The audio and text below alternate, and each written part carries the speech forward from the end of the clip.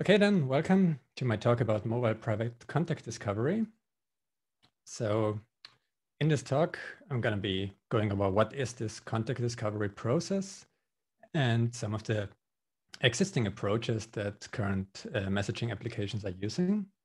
And then I'm going to be talking a little bit more about a cryptographic solution to this contact discovery process in the form of private set intersection.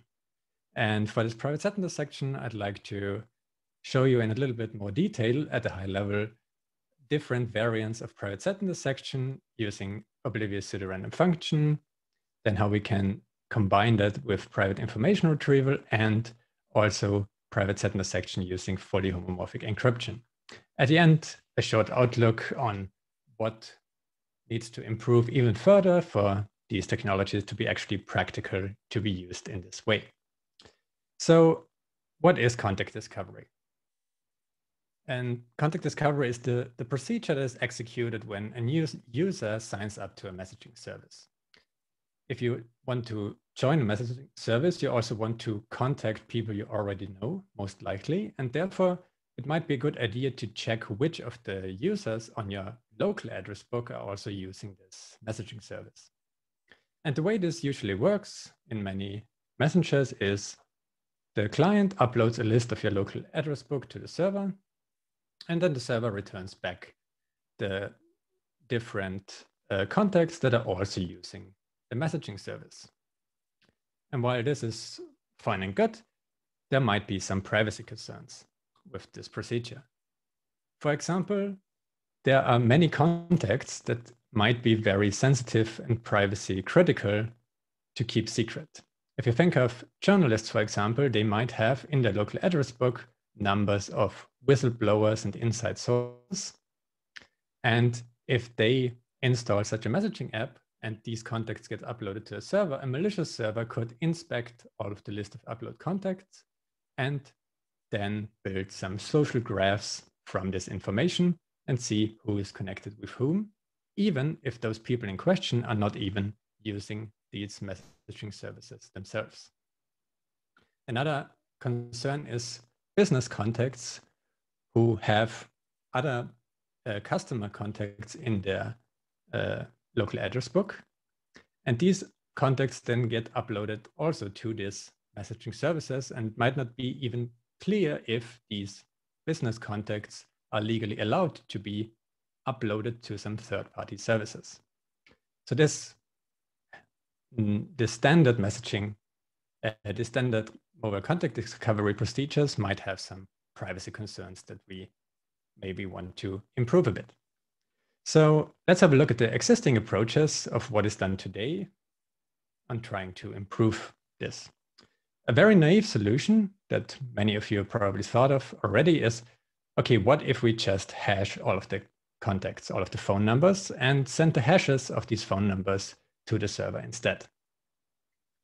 And this seems like a good solution, since if we use a good cryptographic hash functions, these should have properties like pre-image resistance that the server cannot really get the phone numbers back of contacts he does not already know. However, there's a slight practical problem in that phone numbers actually do not ha have a lot of entropy. And for example, in the US, there's less than a billion valid phone numbers. So this is not a large amount for powerful servers, and they can easily brute force all of the possible phone numbers until they find the one that produced this hash. And you can easily use off-the-shelf tools for hash cracking, or even have some more powerful attacks and build rainbow table to improve this even further. Even if you have a salt added to your hash, this does not help that much against targeted attacks. And in general, even if you use strong password hashing functions that slow down these hash cracking attempts, this is also not very helpful against targeted attacks against a single person, but also might reduce the overall user experience when they have to do these more expensive hash functions on their phone and also on the server side all the time. So another solution that's actually employed by Signal in practice is to essentially outsource the trust of this uh, contact discovery procedure to some trusted hardware. And here you can see the server now has this trusted uh, execution environment. And using this trusted execution environment, you can see, uh, you can let the user verify that the code inside of this trusted execution environment is really only performing the contact discovery process and is not leaking any contacts that are not already known to the server outside of this trusted execution environment. However, trusted execution environments have been the target of a lot of attacks in recent years with uh, Plundervolt, for example, an, exam uh, for an example attack or Foreshadow trying to extract secrets out of these trusted execution environments. So these might pose some different considerations if you want to actually use this solution in practice. However, it is very performant and it is used by Signal.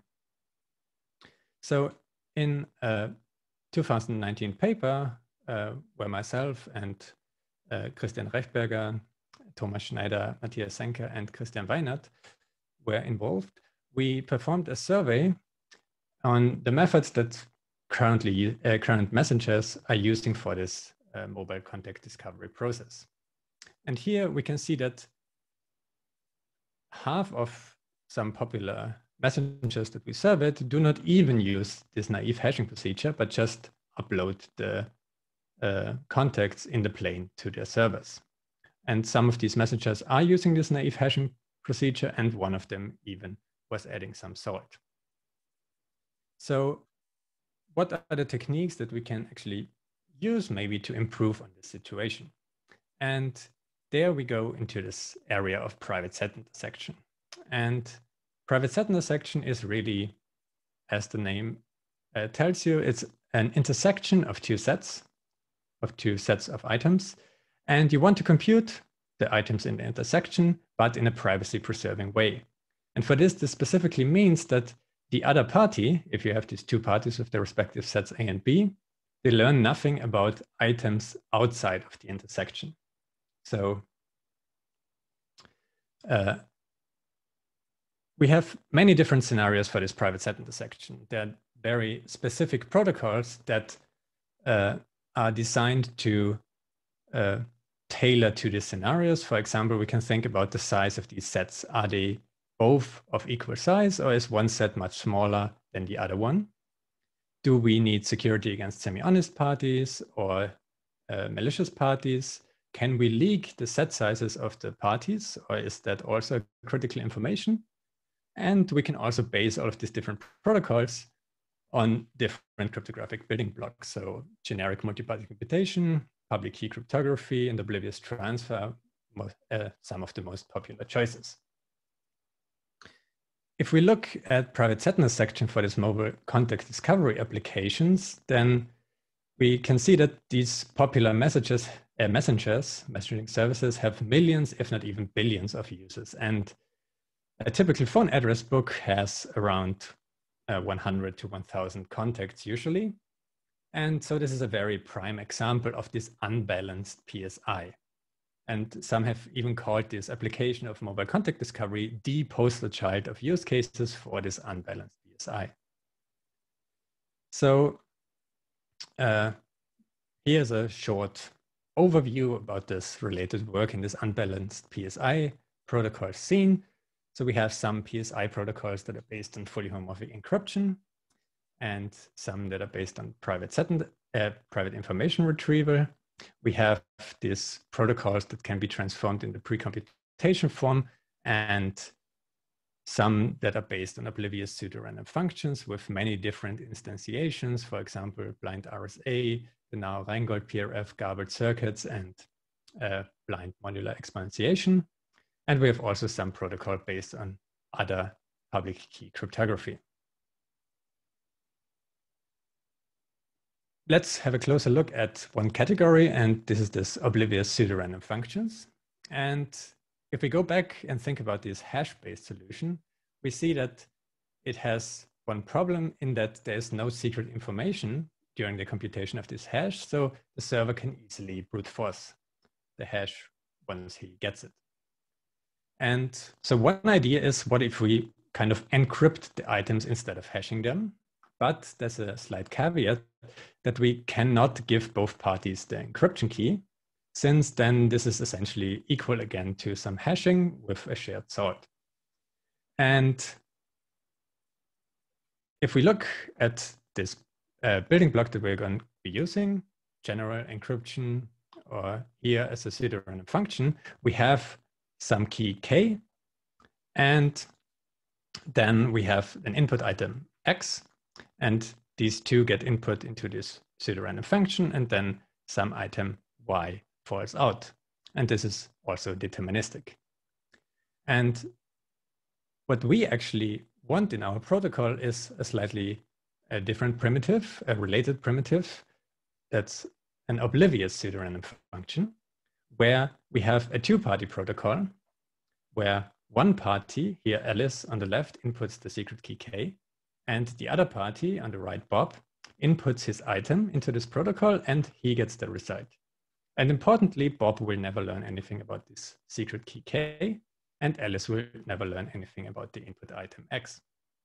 And this essentially allows us to give only one of the two parties the secret key and let the other party evaluate these items using this oblivious pseudorandom function. So how can we build now a private set intersection protocol using these concepts of oblivious pseudorandom functions? So here we have the basic protocol idea. We have some server set of items and some client set of items. And like in our contact discovery use case, the client set is much smaller than the server set. And here they share two common contacts, the green one and the blue one. And the basic protocol goes as follows. So the server picks a random secret key and encrypts all of its items with the secret key using the standard PRF construction. And then, since this is now essentially random, if you don't know the key, he can send this set or some representation of this set of encrypted items to the client. Then the server and the client can engage in this oblivious pseudorandom function protocol, where the server inputs the key and the client inputs each of his items. And so the server and the client work together to evaluate this OPRF for each of the client's items. Then after this procedure is completed, the client now has two sets of encrypted items with the uh, encrypted with the same secret key. And since this is a deterministic procedure, he can now perform a standard intersection on these encrypted items. And because he kept track, the client, of which items, which plain items mapped to which OPRF evaluations, he can then figure out, okay, which of my items are in intersection of the two sets based on the intersection of the encrypted items. And this is the, the basic idea behind this OPRF PSI protocols.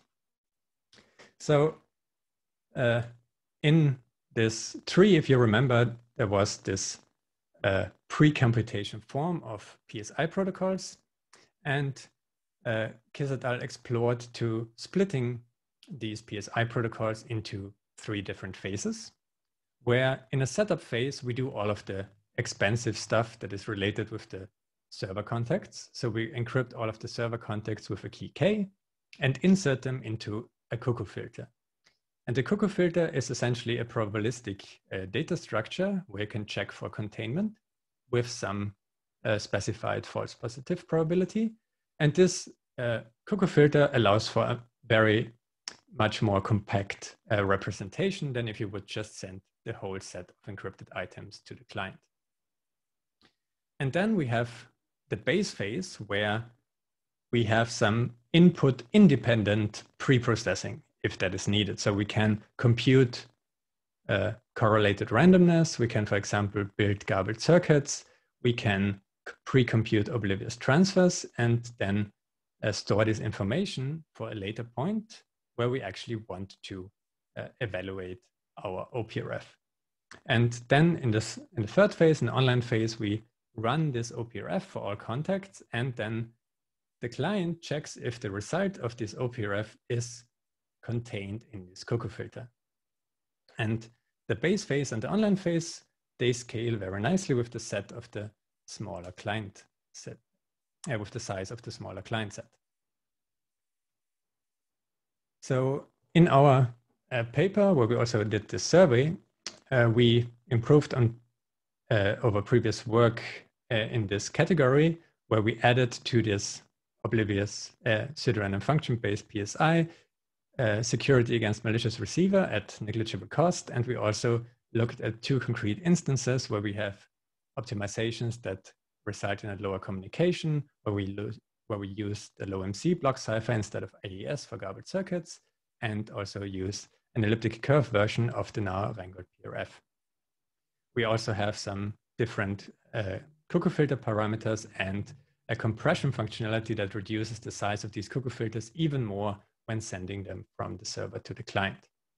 Furthermore, we also uh, did a high performance uh, implementation using the native ARMv8 cryptographic extensions.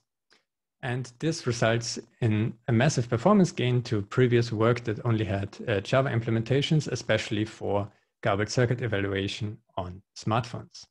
And you can find the paper and our implementation at this link at contactdiscovery.github.io. So just to give you an idea on how expensive these protocols actually are, here we have the some times for the online and base phase for two different protocols from our work, where the server set size is a quarter billion items, and we have uh, the client set size be either one or 1000. And uh, you can see that the times both for Wi-Fi and LTE connections are in the single digit seconds, which is pretty good. And also the communication is in the low megabytes. So this online and base phase are very fast and scale with the size of the client items. But the downside, of course, of these protocols is that there's this large one-time setup transfer where you need to transfer the representation of these server items, be it a cuckoo filter or something similar, to the client in some way. And this, of course, this communication scales with the set of the server size. For example, for our parameters of 2 to the 28 server contacts, the size of the initial cuckoo filter for transfer is about one gigabyte, which is, of course, not very practical if you think about installing a new messaging application and trying to uh, find your contacts. However, if you scale it down a bit and think about a million contacts, then this cuckoo filter goes down to four megabytes, and this is already pretty doable for most applications. So let's have a quick look at some of the ideas to try to reduce this large one-time transfer and improve it a little bit. So one uh, quick idea would be to do some database sharding and essentially split the server contacts into some shards based on some criteria. And then the client only retrieves the small shards he actually needs to compare to. One idea would be to split it into region-based shards where you have some smaller databases for each country, for example. But this again can leak a lot of information. For example, if you have a single contact in a different country, then you also need to download that country's uh, database, and then you leak to the server that you actually know someone in this region, which can be uh, privacy critical. Also, another idea is to not split these shards into uh, region-based shards, but just essentially random shards, for example, based on the hash prefix of the phone number. And this reduces the impact of these privacy leaks from what database you actually download. But this again then reduces the efficiency of this sharding since you then need to download many different shards since they are essentially random. Another idea to improve this process is to use another cryptographic primitive called private information retrieval. And private information retrieval is again a very descriptive descriptive name, you want to retrieve an item from the database, but importantly, without revealing to the server holding the database which item was accessed. So you can kind of think of it as sending some form of encrypted uh, index. The database then does some computation and sends you back some form of encrypted item without ever knowing which of the items was sent back. And we can use this private information retrieval to improve the efficiency of this lookup of the OPRF result. So there are very efficient multi-server private information retrieval protocols, and we can use them to improve the efficiency of the overall protocol. So first in the setup phase where the server would normally transfer the cuckoo filter to the client, we now do not transfer it to the client, but instead transfer the cuckoo filter as a one-time cost to some second server. Then the client and the server engage in their OPRF evaluations. And uh, after the client has the OPRF evaluations of all of his items, then he performs a multi-server private information retrieval to look up this item in the cuckoo filter. And these multi-server private information retrieval protocols have actually very efficient constructions and can bring down the total communication of the protocol to uh, a factor of the size of the client, since you, the client set, since you still need to perform the OPRF evaluations. But now uh, you do not need to send something that is linear in the server set size, but rather logarithmic. However, these multi-server private information retrieval protocols have one big downside, and that is that they have a so-called non-collusion assumption that is represented by this big red line in the middle. These servers are not allowed to talk to each other in any way. And if you would combine the information they get during the execution of these multi-server private information retrieval protocols, they can actually recover what item you accessed and then the whole security falls back down to a hashing based solution. So this is a very unnatural security assumption for practical deployment since a company that is hosting a big messaging service will probably not want to outsource something like this cuckoo filter of all the encrypted contacts to some external entity that they guarantee will not collude with them. Let's have a look at another way to do this private information, uh, this private set intersection, and that is using fully homomorphic encryption. So fully homomorphic encryption is a very nice uh, cryptographic primitive that essentially allows us to perform operations on encrypted data. And here in this picture, you can see a very popular analogy of this fully homomorphic encryption process where we have some party Alice who has some valuable piece of data. Here, this is this raw diamond. And she does not have the capabilities to process this herself.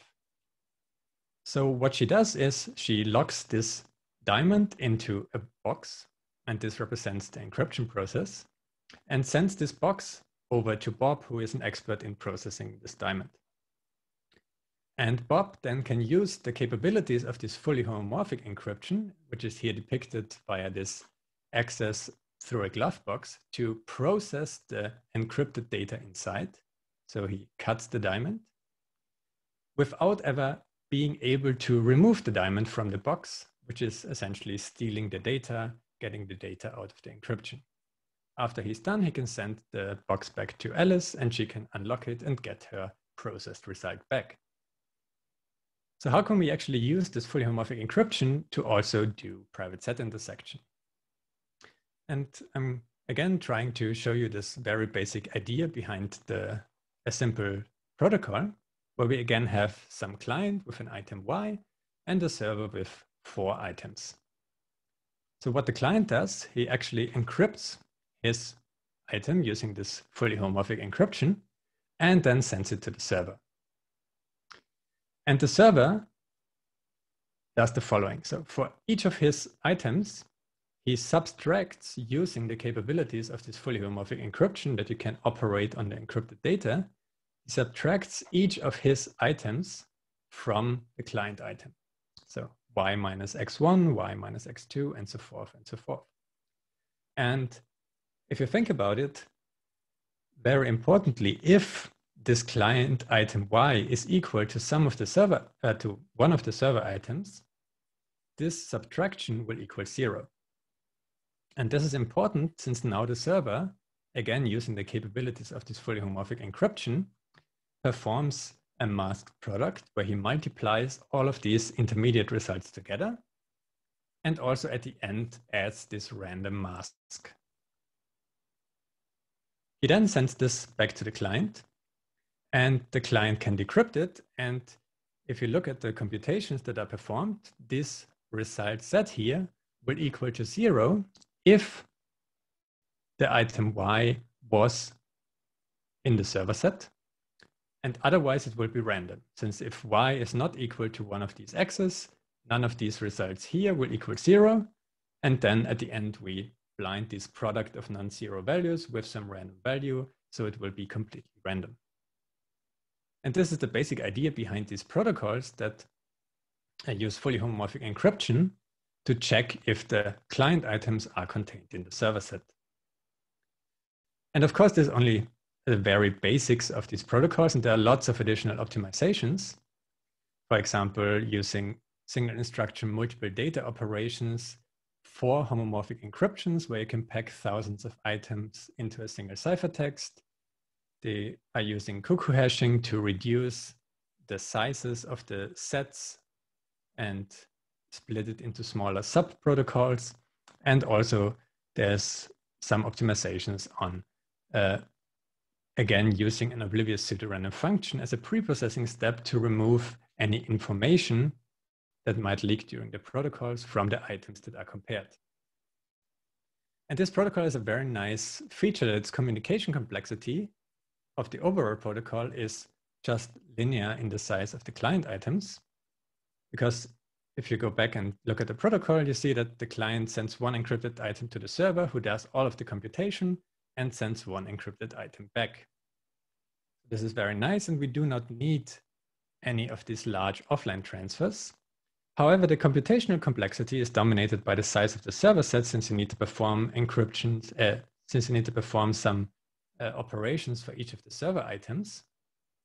And these are very expensive comparatively. So these are fully homomorphic encryption operations and multiplication of ciphertexts.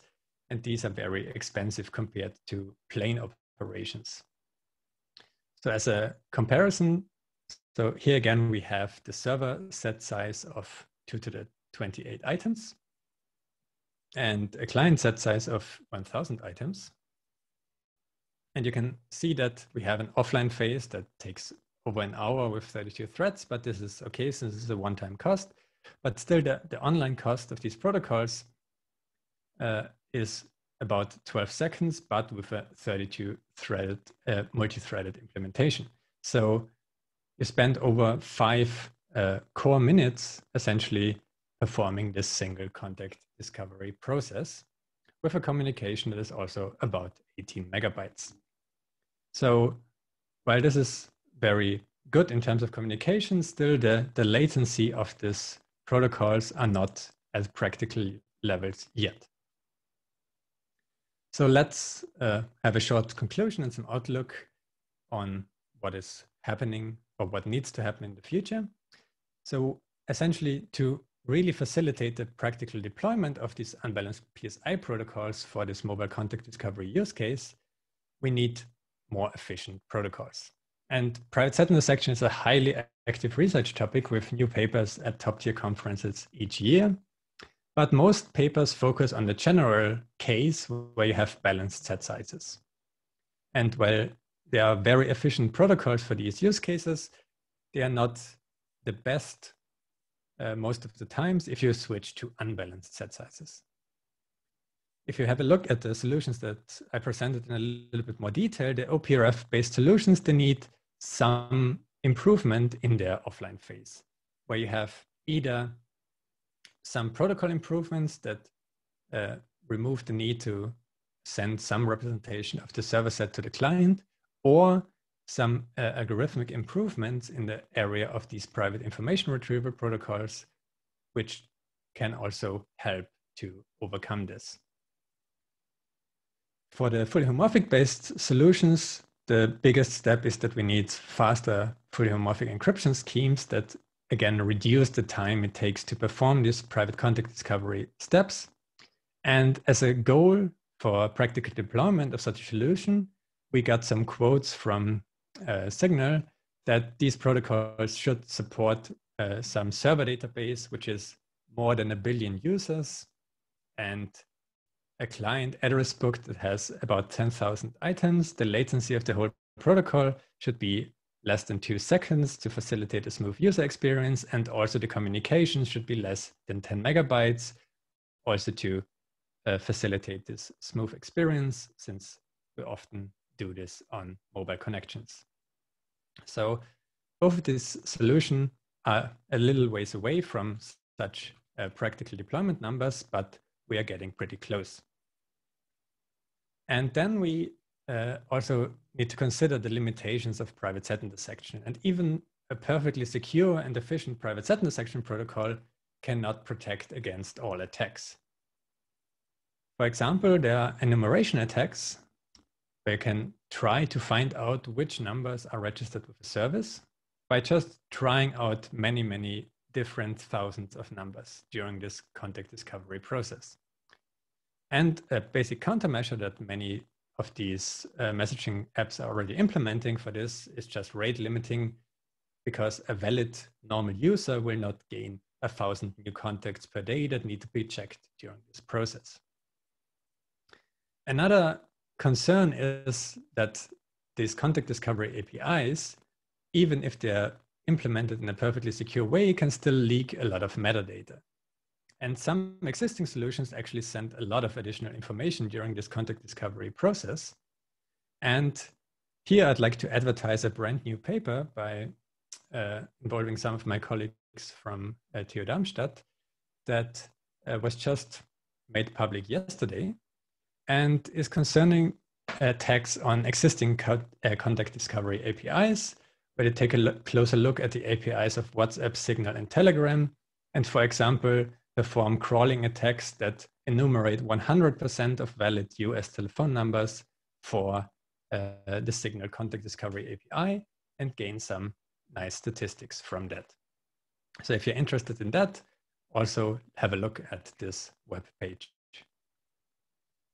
Okay, and uh, with that, I'm done with my presentation. Thanks for your attention, and I'm happy to take any questions.